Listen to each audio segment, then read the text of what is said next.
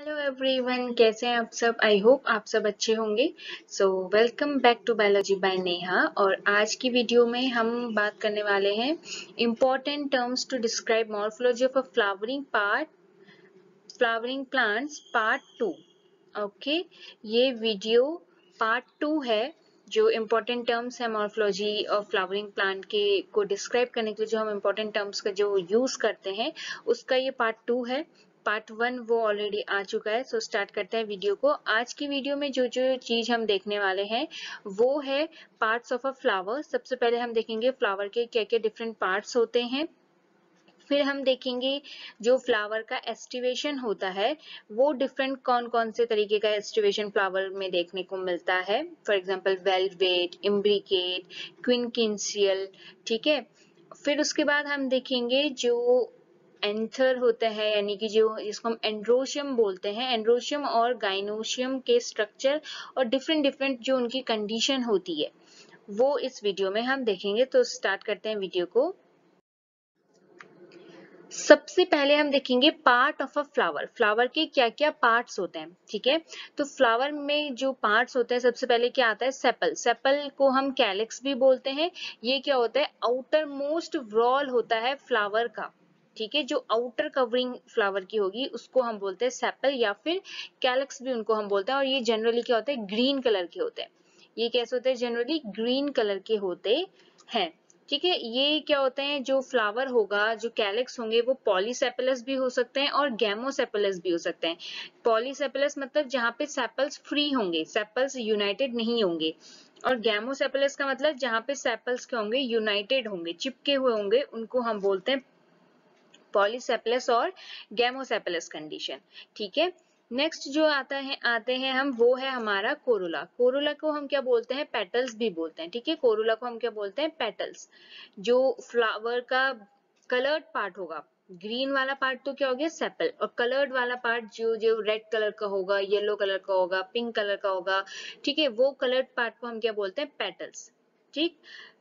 Petals का जो colour होता है डिफरेंट कलर के पैटर्स होते हैं, वो क्यों होते हैं? ताकि वो जो इंसेक्ट्स हैं, उनको अट्रैक्ट कर सके। ठीक है? To attract the insect for pollination insect attract होंगे इसीलिए इंसेक्ट्स के थ्रू क्या होगा? पॉलिनेशन होगा। देखना जनरली जो इंसेक्ट पॉलिनेटेड फ्लावर्स होते हैं, उनके जो कोरोला होता है, वो ब्राइट कलर के होते हैं, ठीक है? ब्राइटली कलर के होते हैं। वो इसीलिए कि ताकि वो इंसेक्ट को अट्रैक्ट कर सके इंसेक्ट उनमें आए और फिर इंसेक्ट के बॉडी में पॉलन ग्रेन्स चिपक के, क्या करे? फिर उनका पॉलिनेशन हो, ठीक है? और पेटल्स भी क्या होते हैं? जैसे हमने सेपल्स के केस में देखा था, वो पॉलीसेपलस और गैमोसेपलस थे। वैसे ही पेटल्स के केस में भी हम देखेंगे गैमोपेटलस और पॉलीपेटलस कंडीशन गैमोपेटलस यानी कि जहाँ पे पेटल्स क्या होंगे? यूनाइटेड होंगे और पॉलीपेटलस जहाँ पे पेटल्स फ्री होंगे, ठीक है?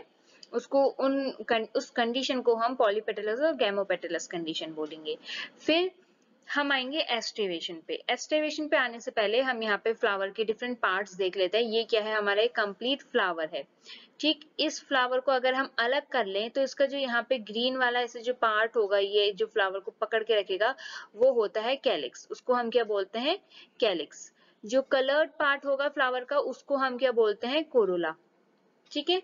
और फिर कोरोला के अंदर क्या होगा? एंड्रोशियम और गाइनोशियम कोरोला के अंदर की तरफ़ को, ठीक है? अगर मैं बनाऊँ यहाँ पे डायग्राम तो ये हमारा फ्लावर का ग्रीन कलर का स्टेम हो गया और यहाँ पे क्या होगा, ऐसे करके ये कैलिक्स होंगे, ठीक है? ये ये क्या होंगे हमारे? कैलिक्स होंगे। इनको हमने क्या बोल दिया? कैलिक्स फिर इसके बाद हमारा क्या होगा, यहाँ से क्या निकलेंगे? पेटल्स निकलेंगे। ये क्या हमारा फ्लावर हो गया, ये क्या निकल रहा है हमारे फ्लावर के? पेटल्स निकल रहे हैं, ठीक है? फिर उसके बाद हमें क्या देखने को मिलेगा यहाँ पे? एन, जो एंथर होंगे जो एंड्रोशियम होगा वो देखने को मिलेगा। हमें उसमें एंथर भी देखने को मिलेंगे और फिलामेंट भी देखने को मिलेगा। ठीक है ये। ये एंथर लोब हो गए ओके? इस तरीके से ये एंथर लोब और फिलामेंट। और फिर हमें क्या देखने को मिलेगा यहाँ पे? गाइनोशियम देखने को मिलेगा यानी कि female reproductive organ stigma style और ओवरी। ठीक है? ये। और फिर इसके अंदर क्या प्रेजेंट होंगे? ओव्यूल्स प्रेजेंट होंगे। सो अगर इसका हम नाम लिखें तो हम कैसे लिखेंगे? ये क्या है? स्टिग्मा ये क्या है? स्टाइल ओके और ये क्या है? ओवरी स्टिग्मा स्टाइल ओवरी ठीक है, ये क्या हो गया? फीमेल रिप्रोडक्टिव पार्ट हो गया। मेल रिप्रोडक्टिव पार्ट का अगर हम देखें, ये क्या हो गया? एंथर और ये वाला पार्ट क्या हो गया? फिलामेंट ऑल राइट और ये क्या हो गए हमारे? पेटल पेटल को हम क्या बोलते हैं? और कोरोला भी बोलते हैं। और ये क्या हो गए हमारे? सेपल्स सेपल्स को हम क्या बोलते हैं? कैलिक्स भी बोलते हैं। ठीक है, ये तो हो गया हमारा क्या? एक पूरा फ्लावर का स्ट्रक्चर ठीक है कॉमन सा। अब इसके बाद आते हैं हम एस्टिवेशन में। एस्टिवेशन का मतलब क्या होता है? जो फ्लावर में, जो फ्लावर हमारा पूरा बन रहा है, उसमें जो पेटल्स हैं और सेपल्स हैं, उनका अरेंजमेंट कैसे है? ठीक है? उसको जो, उसकी स्टडी को हम क्या बोलते हैं? उसके अरेंजमेंट को हम बोलते हैं एस्टिवेशन डिफरेंट टाइप के एस्टिवेशन हमें देखने को मिलते हैं। वेलवेट इम्ब्रिकेट ट्विस्टेड वेक्सिलरी वो सारे एस्टिवेशन को हम नेक्स्ट स्लाइड में देखते हैं। सी, सबसे पहले अगर हम देखें वॉलवेट वॉलवेट में क्या होता है, जो सेपल्स और पेटल्स के जो मार्जिन होंगे, जब वो वॉल में अरेंज होंगे, जब वो फ्लावर का फॉर्मेशन करेंगे तो वो जब अरेंज होंगे तो वॉलवेट एस्टिवेशन में क्या होगा, वो सिंपली अरेंज होंगे। उसमें ना कोई ओवरलैपिंग होगी उनके मार्जिन में, ना उनके मार्जिन एक दूसरे को ओवरलैप करेंगे, कुछ नहीं करेंगे। उनके मार्जिन बस एक दूसरे को टच करेंगे। ठीक है? ये देखते हैं हम। ये मार्जिन ये ए वाला स्ट्रक्चर क्या दिखा रहा है? वॉलवेट का स्ट्रक्चर दिखा रहा है। यानी कि यहाँ पे मार्जिन सिंपली क्या है? एक दूसरे को बस टच कर रहे हैं। कुछ ओवरलैपिंग हमें यहाँ पे देखने को नहीं मिले। तो यही आपको यहाँ पे फ्लावर का भी अरेंजमेंट है। तो ये जो फ्लावर के पेटल्स हैं, ये क्या है? सिर्फ़ एक दूसरे को टच कर रहे हैं बस। और कोई ओवरलैपिंग हमें देखने को नहीं मिल रही है।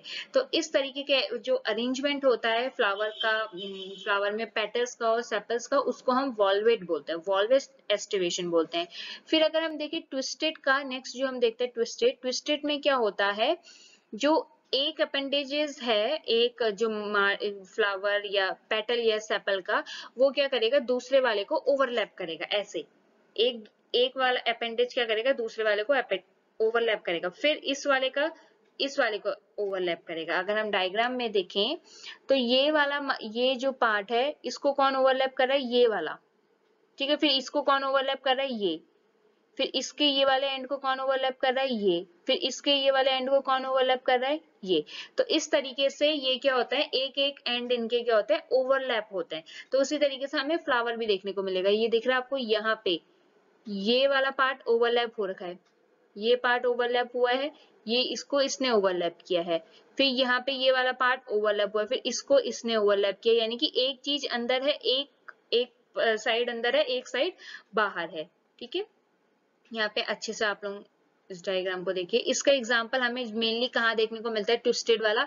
चाइना रोज में आप इजिली देख सकते हैं कि एक मार्जिन बाहर की तरफ़ होगा, एक मार्जिन को ओवरलैप किया जाएगा। ठीक है China rose cotton lady finger इनमें हमें ट्विस्टेड एस्टिवेशन देखने को मिलता है। नेक्स्ट हम देखते हैं इम्ब्रिकेट और क्विनकेंशियल इम्ब्रिकेट और क्विनकेंशियल में क्या होता है, जो मार्जिन का ओवरलैपिंग होती है, वो किसी पर्टिकुलर डायरेक्शन में या किसी पर्टिकुलर वे में नहीं होती है। ठीक है इम्ब्रिकेट में अगर हम देखें तो इसमें हमें क्या देखने को मिलेगा, जो एक पेटल या फिर एक सेपल है, वो कंप्लीटली क्या होगा, दोनों साइड से उसके मार्जिन ओवरलैप होंगे। एक ऐसा होगा कि उसके कोई भी मार्जिन ओवरलैप होंगे ही नहीं कहीं से भी। और बाकी के क्या होंगे? एक ओवरलैप हो रहा होगा, एक नहीं हो रहा होगा, एक हो रहा होगा, एक नहीं हो रहा होगा। ठीक है, ये एक पेटल मान लो, ये क्या है? कंप्लीटली ओवरलैपिंग हो रही है यहाँ पे। ठीक है? इस वाले पेटल में हमें कंप्लीट ओवरलैपिंग देखने को मिल रही है। दिख रहा है आपको, ये वाला एंड भी ओवरलैप रहा है और ये वाला एंड भी। वैसे ही यहाँ पे हमें क्या देखने को मिल रहा है कि ये वाला एंड और ये वाला एंड में दोनों में से किसी में भी ओवरलैपिंग नहीं है। बट यहाँ हमें एक में ओवरलैपिंग दिख रही है, एक में नहीं दिख रही है। फिर एक में दिख रही है, एक में नहीं दिख रही है। एक में नहीं दिख रही है, एक में नहीं दिख रही है। तो ये है क्विन इम्ब्रिकेट और क्विनकेंशियल में। यही है कि कभी जो ओवरलैपिंग होगी मार्जिन की, वो कोई पर्टिकुलर वे में या पर्टिकुलर डायरेक्शन में नहीं होगी। ठीक है, ये मैंने आपको बताया इम्ब्रिकेट का कि एक जो होगा वो पूरी तरीके से अंदर होगा, यानी कि उसके दोनों मार्जिन ओवरलैप हो रहे होंगे और एक पेटल या फिर एक सेपल का जो होगा, वो उसमें कहीं से भी ओवरलैपिंग नहीं होगी। अगर हम क्विन कंशियल का देखें तो उसमें क्या होता है, दो ऐसे पेटल होंगे या फिर दो ऐसे सेपल होंगे जो पूरी तरीके से क्या हो रहे होंगे, जिनके दोनों साइड के दोनों मार्जिन क्या हो रहे होंगे ओवरलैप हो रहे होंगे। और दो ऐसे होंगे, जिनके ओवरलैप हो ही नहीं रहे होंगे। और एक ऐसा होगा जिसका एक मार्जिन ओवरलैप हो रहा होगा और एक मार्जिन ओवरलैप नहीं हो रहा होगा। यानी कि क्विन कंसियल में दो पेटल ऐसे होंगे जो दोनों साइड से ओवरलैप हो रहे होंगे, दो ऐसे होंगे जो कहीं से भी नहीं हो रहे होंगे। और एक ऐसे हो रहा होगा कि एक का हो रहा है पार्ट एक का नहीं हो रहा है। तो ये देख रहे हैं आप इसका ये वाला मार्जिन और ये वाला मार्जिन दोनों क्या है? ओवरलैप हो रहा है यहाँ से और यहाँ से। ये भी क्या हो रहा है? दोनों ओवरलैप हो रहे हैं। और ये वाला पार्ट ये वाला जो इसका पेटल है, ये क्या है? कहीं से भी ओवरलैप नहीं हो रहा है। वैसे ही ये वाला पेटल भी कहीं से भी ओवरलैप नहीं हो रहा है।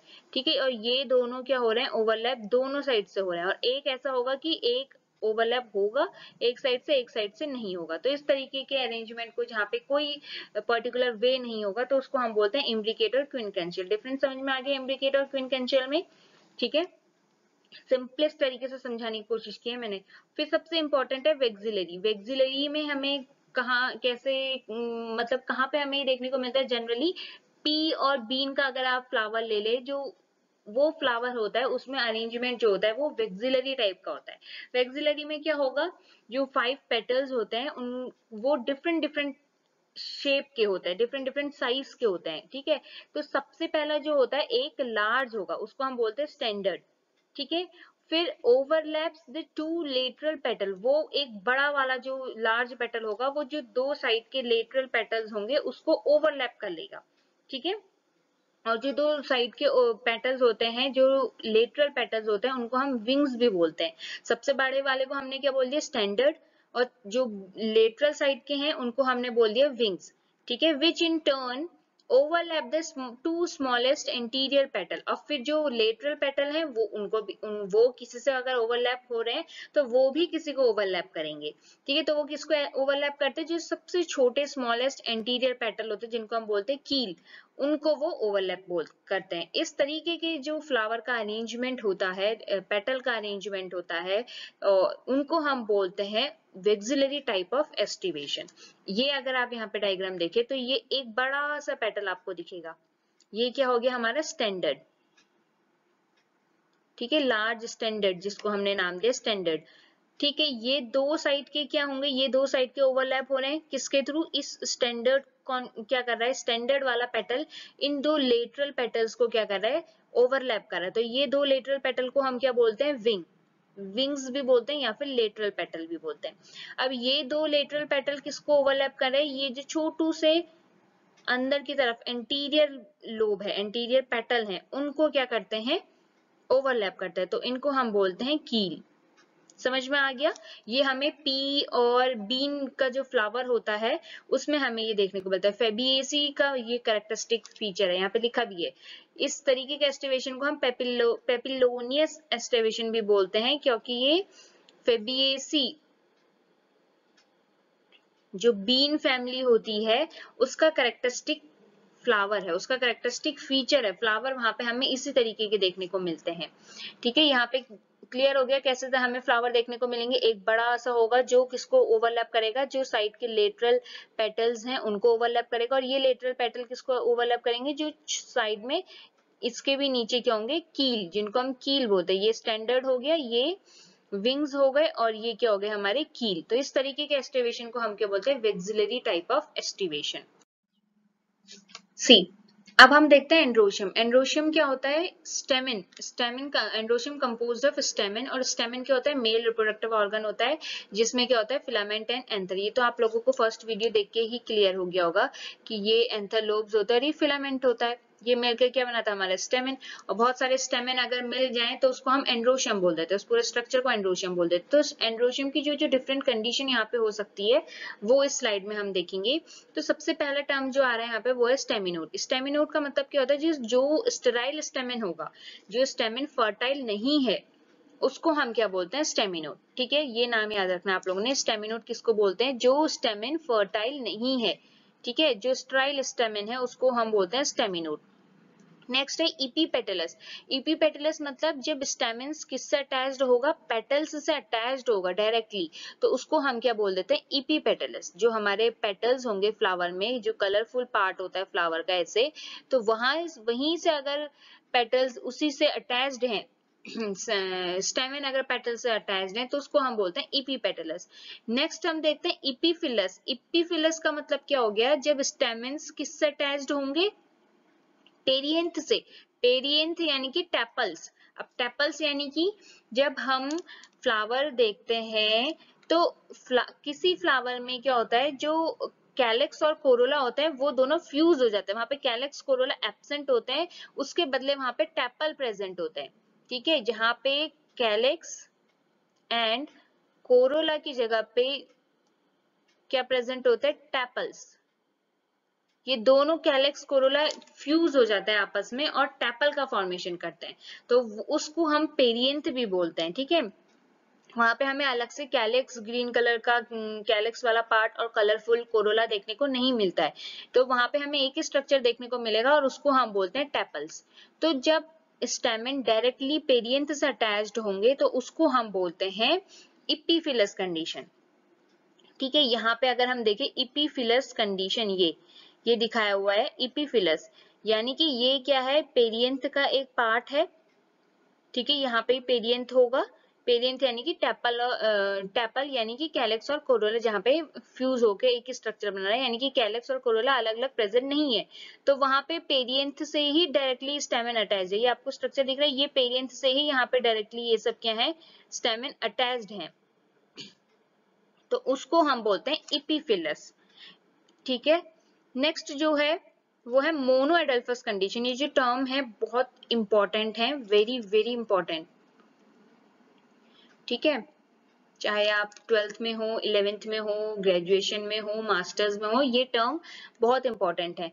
मोनो एडल्फस मोनो एडल्फस का मतलब क्या होता है? जब स्टेमिन जो होते हैं यूनाइटेड हो जाते हैं, एक बंच में ठीक है और या फिर एक बंडल बनाते हैं तो उसको हम बोलते हैं मोनो एडल्फस जब आपने हिबिस्कस का फ्लावर देखा होगा, ये डायग्राम देखो, ये हिबिस्कस के फ्लावर में ये सारे जो स्टेमिन होते हैं, एक बंच में एक बंडल बना लेते हैं, उसमें इकट्ठा हो जाते हैं तो उसको, उस कंडीशन को हम क्या बोलते हैं? मोनो एडल्फस कंडीशन यानी कि एक ही बंच में, एक ही बंडल में सारे स्टेमिन मोनो मीन्स वन ठीक है, एक ही सिंगल बंच में सारे स्टेमिन यूनाइट होके अरेंज हो गए तो उसको हमने बोल दिया मोनो एडल्फस कंडीशन सेकेंड आता है diadelphous di means two जहाँ पे स्टेमेन जो यूनाइट तो होते हैं बट कितने बंडल में होते हैं? टू बंडल्स में. टू बंडल्स में कैसे? ये दिख रहा है आपको, यहाँ पे ना, ये एक ये अलग से दिख रहा है स्टेमेन और बाकी के स्टेमेन सब इस बंडल में है। तो इसको हम बोलते हैं डाईएडल्फस कंडीशन इस कंडीशन को हम क्या बोलते हैं? डाईएडल्फस कंडीशन फॉर एग्जांपल मैं अगर बताऊँ तो ये, बहुत सारे अगर हमारे पास स्टेमिन है, ये अगर स्टेमिन हमारे पास बहुत सारे हैं, ठीक है तो ये सब एक बंडल में अरेंज्ड हो गए. इसके अलावा एक स्टेमिन यहाँ पे अलग से हमें दिख रहा है. ठीक है तो इस कंडीशन को हम बोलते हैं डायडल्फस कंडीशन एक तो बंडल ये हो गया पूरा और ये एक अलग से हो गया। ठीक है तो दो बंडल में अरेंज हो गए तो इसको हम बोलते हैं डायडल्फस कंडीशन पॉलीएडल्फस कंडीशन का और डायडल्फस कंडीशन हमें पी के केस में देखने को मिलती है। ठीक है? और पॉलीएडल्फस कंडीशन में क्या होगा, जब स्टेमिन बहुत सारे बंडल्स में अरेंज हो जाएँगे मोर देन टू तो उसको हम बोलते हैं पॉलीएडल्फस कंडीशन। ये दिख रही है आपको, एक बंडल ये दिख रहा है, एक बंडल ये दिख रहा है, एक बंडल ये दिख रहा है, एक बंडल ये दिख रहा है। यानी कि ये जो स्टेमिन होंगे, ये ऐसे ऐसे करके बहुत सारे बंडल्स में क्या हो जाएँगे अरेन्ज हो जाएँगे, इस तरीके से। ठीक है?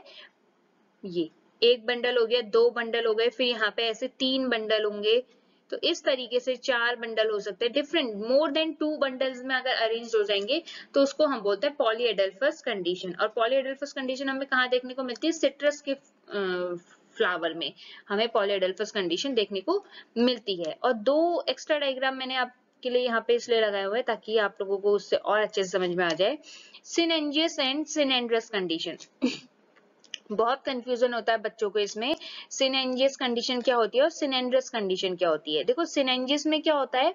जो एंथर जो स्टेमिन है हमारा, उसका जो सिर्फ़ एंथर लोब वाला पार्ट है, वो वाला पार्ट सब क्या होता है? आपस में फ्यूज हो जाते हैं। इसमें क्या होता है? जो एंथर का जो लोब्स होंगे, सारे लोब्स आपस में क्या हो जाते हैं? फ्यूज हो जाते हैं। तो उस कंडीशन को हम बोलते हैं सिनेंजियस कंडीशन ठीक है? और सिनेंड्रस कंडीशन में क्या होता है? जो एंथर के लोब्स होते हैं, वो तो फ्यूज होंगे होंगे, साथ में जितने फिलामेंट होते हैं, वो भी फ्यूज हो जाते हैं। तो यहाँ पे जो एंथर लोब होंगे, वो भी फ्यूज होंगे, और जो फिलामेंट है, वो भी सब आपस में क्या हो जाते हैं? फ्यूज हो जाते हैं। तो एक लोब्स और फिलामेंट सब आपस में फ्यूज हो जाते हैं। तो उस कंडीशन को हम बोलते हैं सिनेंड्रस कंडीशन ठीक है? और सिनेंजियस कंडीशन किसको बोलते हैं हम? जहाँ पे सिर्फ़ एंथर लोब्स ही एक साथ फ्यूज हो रहे हैं। ठीक है? आई होप आपको ये एंड्रोशियम की जो डिफरेंट कंडीशंस थी, वो क्लियर हो गई होंगी। नेक्स्ट हम आते हैं गाइनोशियम में। गाइनोशियम में क्या होगा? देखो गाइनोशियम आप लोगों को पता है, ये क्या है? फीमेल रिप्रोडक्टिव पार्ट होता है। ठीक है? और इसमें स्टिग्मा स्टाइल और ओवरी होता है। ठीक है? और गाइनोशियम जो होता है मोर देन वन कार्पल मतलब जो गाइनोशियम होती है, वो मोनोकार्पलरी भी होती है और one more than one carpel भी उसमें प्रेजेंट हो सकते हैं। ये सारी चीज़ें अभी क्लियर होगी। अगर हम देखें ओवरी ठीक है? इन सबको मिला करके हमने फीमेल रिप्रोडक्टिव पार्ट में जितने स्ट्रक्चर प्रेजेंट होते हैं, उन सबको मिला के हमने क्या बोल दिया? गाइनोशियम बोल दिया है। ठीक है, अगर हम बात करें ओवरी की तो ओवरी क्या होता है? बेसल पोर्शन होता है और एनलार्ज पोर्शन होता है। एनलार्ज बेसल पोर्शन ठीक है? इन विच स्टाइल लाइज जिसके ऊपर से स्टाइल डेवलप होगा, उसको हम बोलते हैं ओवरी स्टाइल क्या होता है? ट्यूब्यूलर पार्ट होता है, जहाँ पे जो क्या करता है ओवरी और स्टिग्मा को कनेक्ट करता है। और स्टिग्मा क्या हो गया, जो टिप का जो पार्ट होता है, जो रिसीव करेगा पॉलन ग्रेन्स को, उसको हम क्या बोलते हैं stigma stigma style ovary clear हो गया, ये क्या है स्टिग्मा है। ये क्या करेगा, यहाँ पे पॉलन ग्रेन्स को रिसीव करेगा। ठीक है? ये क्या हो गया ट्यूब्यूलर पार्ट स्टाइल हो गया, जो स्टिग्मा और ओवरी को जोड़ के रखता है। और ओवरी क्या हो गई, हमारा बेसल पोर्शन हो गई। ठीक है? अब हम देखते हैं इसमें प्लेसेंटा प्लेसेंटा क्या होता है? ईच ओवरी बियर वन और more ovule attached to flattened cushion like placenta ठीक है? ओवरी में ओवरी क्या करती है? वन या तो एक ओव्यूल को बियर करेगी, या फिर मोर देन वन ओव्यूल को बियर करेगी, और उस ओव्यूल को जो चीज़ बियर करके रखती है, उसको हम क्या बोलते हैं? प्लेसेंटा सिंपल जैसे ह्यूमंस के केस में भी होता है, जो बेबी को बियर करके रखता है, पकड़ के रखता है, जिसके अंदर बेबी प्रेजेंट होता है प्लेसेंटा होता है तो वैसे ही यहाँ पे जो ओव्यूल्स होंगे ओवरी के अंदर जो ओव्यूल्स होंगे, वो कहाँ प्रेजेंट होंगे? प्लेसेंटा में प्रेजेंट होंगे। अब जो ओवरी होती है, वो एपोकार्पस भी हो सकती है और सिनकार्पस भी हो सकती है, यानी कि apocarpous means when more than one carpel is present जब कार्पल वन से ज़्यादा प्रेजेंट होंगे तो उसको हम एपोकार्पस ओवरी बोलते हैं और वो कार्पस फ्री भी हो सकते हैं। और फ्री नहीं भी हो सकते हैं, ठीक है? और सिन कार्पस मतलब जब कार्पस सब क्या हो गए, एक साथ फ्यूज हो गए तो उसको हम बोलते हैं सिन कार्पस ये देखो, इस स्ट्रक्चर से क्लियर हो जाएगा। Apocarpous ovary and syncarpous ovary ठीक है? एपोकार्पस ओवरी में क्या है? मोर देन वन कार्पल ये पूरा एक कार्पल हो गया, ये पूरा एक कार्पल हो गया और ये पूरा एक कार्पल हो गया, ठीक है? ये क्या है? एपोकार्पस ओवरी है। सिनकार्पस ओवरी में क्या होंगे? ये सारे कार्पल क्या हो गए? एक साथ फ्यूज हो गए। होने तो क्या चाहिए थे? ये यहाँ से एक होना चाहिए था, ये यहाँ से एक होना चाहिए था और ये यहाँ से एक होना चाहिए था। बट ये तीनों क्या हो गए? फ्यूज हो गए। तो इसको हमने बोल दिया सिनकार्पस।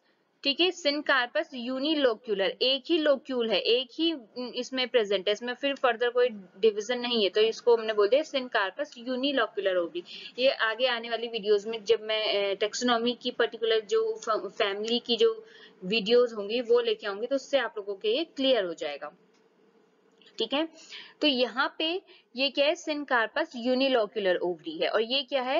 एपोकार्पस ओवरी है। अब यहाँ पे से आपको एक चीज़ और दिख रही होगी, जो एपोकार्पस ओवरी है तो वहाँ पे आपको दिख रहा है तीन, यहाँ पे थ्री मैंने बोला था ना ये वन कार्पलरी भी हो सकती है और वन से ज़्यादा भी हो सकती है इसमें कार्पल तो यहाँ पे थ्री कार्पल प्रेजेंट है। One carpel two and three one two three तीन डिफरेंट कार्पल प्रेजेंट है तो ओवरी में ये क्या है?